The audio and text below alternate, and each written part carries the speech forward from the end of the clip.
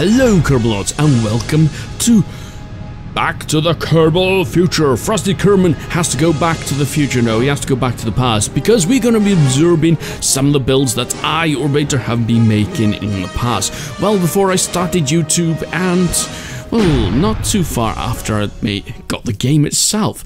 Okay, so the first thing I built was this thing.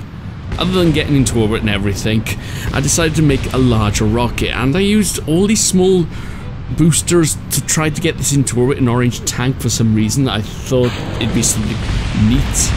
I'm not sure entirely what I was thinking. I called it the X rocket. I think it's because uh, it kills the Kerbal. However, one thing I do like about it though is after all the destruction, all the rockets go everywhere.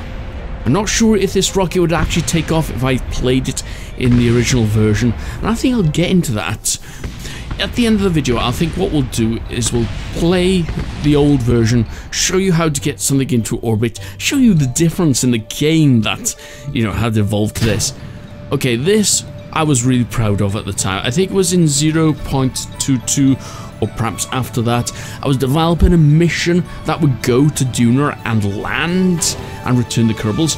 It's a four stage. Basically, you'd have a rover, you'd have the lander, you'd have the base itself. Uh, yeah, the lander would be able to return the craft to the orbiting craft, which then would return the Kerbals back to Kerbin. It was all planned out, I had all Delta V required. However, because things changed in the game, it uh, it will no longer work. Perhaps I could engineer it again to make it work.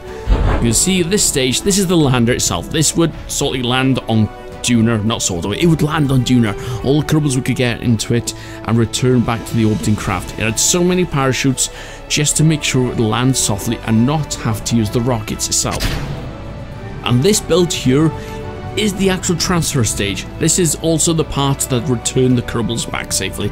As you can see, all the top parts, there are no aerodynamics, there's no shell for the uh, fairing for the payload or anything like that. That's because aerodynamics didn't work the same way. There's no way that you could flip your rocket out. You'd actually turn it to 90 degrees and it would not flip out because of aerodynamics in this in version 0.21. I am actually playing this in 1.42 or whichever version it is, 1.43. All the crafts that will load up in the game. Unfortunately, the rover itself for the Duna mission didn't work. Uh, I think there must be some mods or some parts that no longer work in the current version. And also you may note that there's a tank just above the orange tank. That's because in the original versions of the game, for some reason, the orange tank would explode, and the only way to stop that was to put an orange tank in between it.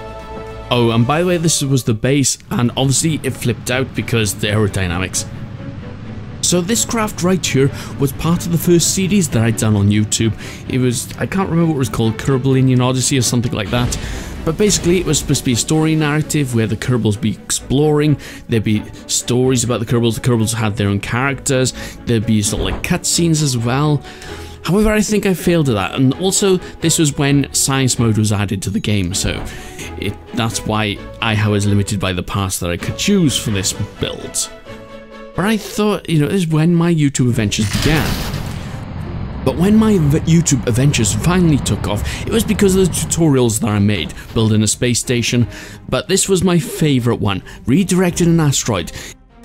And that tutorial then went on to building an asteroid base tutorial, which was basically rendezvousing the asteroid with several things like thrusters, um, solar panels like we have here, and basically this was a probe that you could be able to dock to the to the individual solar panels arrays and then attach them sideways on, which I don't think I showed you in this in this video, but I think you get the point. Basically, you dock with it, and dock with it, and then reattach it. Although I didn't expect people to follow this more advanced way of sort of like building a base, it did show the basics of rendezvous and attaching things to an asteroid so that you could yourself enjoy your own asteroid base. Oh, and these things, which I absolutely love. Basically, they have a lot of um, thrusters, and they act like RCS. You attach them to the asteroid so that you can maneuver the asteroid and orientate it the way you want. And I decided to have some fun to see if I could impact in one of the rockets. It worked. Kessler syndrome has been initiated. I have no idea whatsoever what was going through my head when I was building this rocket and others like it. For some reason, I decided at some point that struts were no longer needed.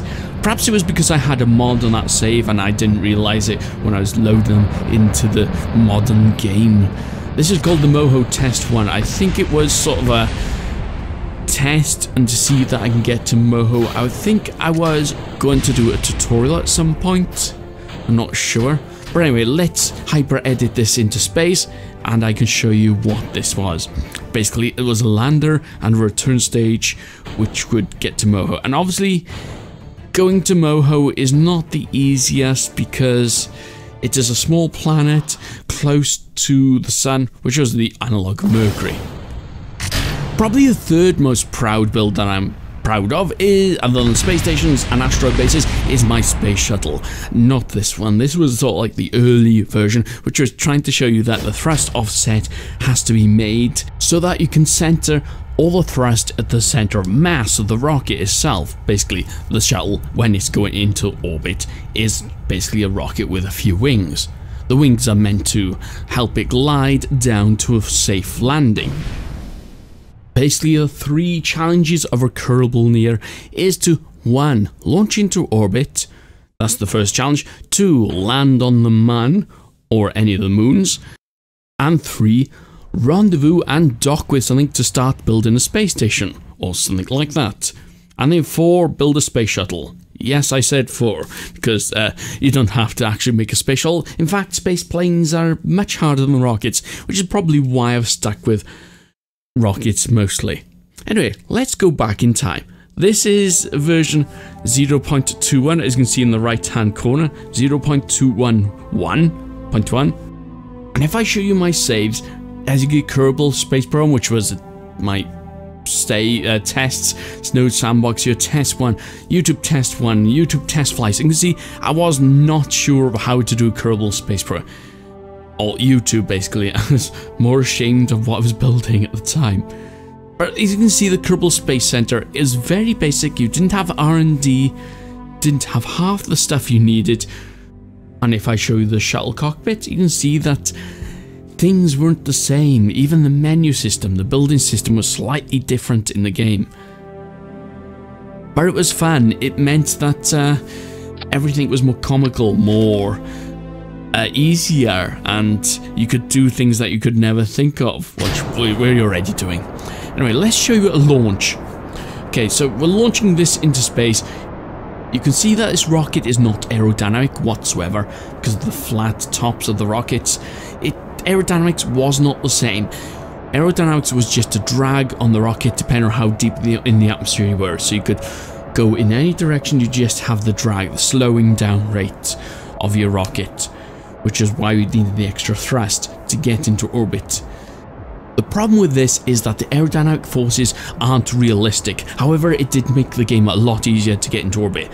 For basically here we are at 10 kilometers, you get through the thickest part of the atmosphere, then you go 45 degrees towards the west, and then you'd burn until your periapsis or apoapsis is 100 kilometers up into space. Then you wait until you get into to 100 kilometers, then you burn to get yourself into orbit. I think I decided to start my burn a bit late by here, and also I decided to stage earlier, not using the full st lower stage to get myself into orbit. And that made me dip down into the atmosphere a bit, but hey, I'm just showing you that this was so easy that, well basically, anybody could do it. But that is not the point at why am I showing it. I'm showing you that Kerbal Space Program has evolved to be a much more encompassing game, it's much more realistic, but still being easy enough that people can get a handle on it and enjoyment. Though I missed the early days where you know the adventure began for me, it still can begin for you guys.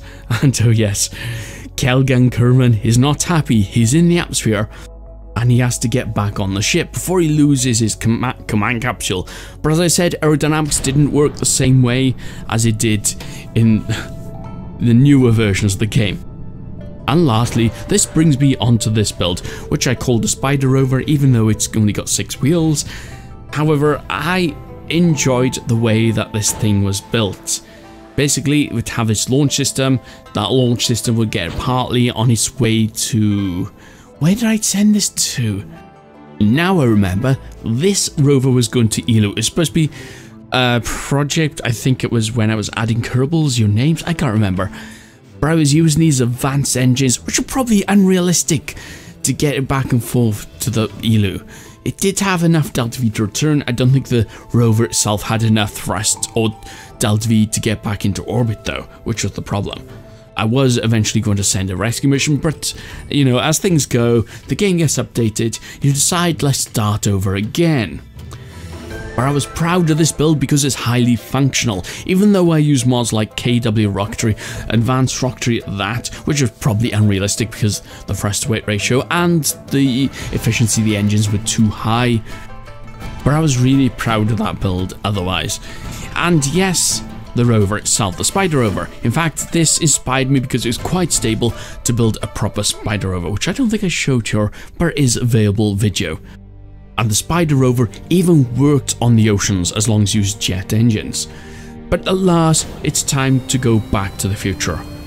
The Kerbals of this century have worked out a way using jet engines and solid rocket boosters to get this up to speed. And yes, I forgot how this ballistic missile works. And I can't remember if I built this or if I downloaded this as a craft that someone else built or copied someone's built. This, I don't know, it was quite fun though just to use. I think it was deciding to do a war or something at some point. Anyway, I am more beta. Trust me, I'm a time engineer.